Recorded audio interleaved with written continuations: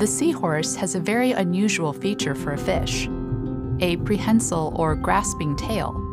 This tail can anchor the seahorse to one spot, resisting the ocean currents that surround it. How does it work? The cross section of the seahorse's tail is square, not round like that of most other animals with gripping tails.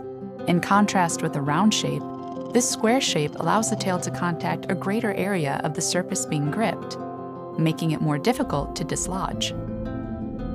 It can also twist and untwist with minimal energy. In addition, the tail of the seahorse is encased in overlapping bony plates with many joints. When subjected to a potentially harmful force, the plates slide over one another, absorbing the energy. This can prevent damage to the seahorse's spinal column. The design of the seahorse's tail could be applied to search and rescue robots, which need to be strong and capable of bending and twisting in tight spaces. The same properties could be useful in some surgical equipment.